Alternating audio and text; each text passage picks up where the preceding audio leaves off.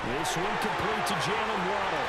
Finding room at midfield. Down the right sideline. And all the way in for a Miami touchdown. Jalen Waddle, 83 yards. And the Dolphins strike quickly here to tie up the ball game. Oh, they flip it to the kicker. He looks like he's going to throw it. He's got it at the 10. And he's in for two.